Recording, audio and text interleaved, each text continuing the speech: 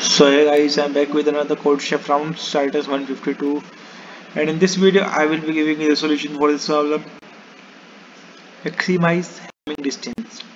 By the way if you want to copy this code and all the code of this contest then you can join my telegram channel. The link is in the description for absolutely free.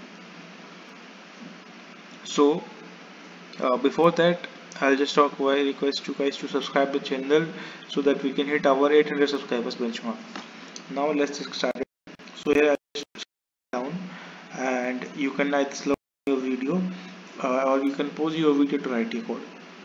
And uh, don't forget to subscribe to the channel and don't forget to join the telegram as well. If you want to copy this code uh, you can copy from my telegram for free. And I'm doing a giveaway as well on my telegram for you guys. A huge giveaway of my premium telegram group for absolutely free so you can check that out as well. There is no issue in that. And uh, now I'll upload further solutions of this contest. Once we hit 800 sorry 720 subscribers.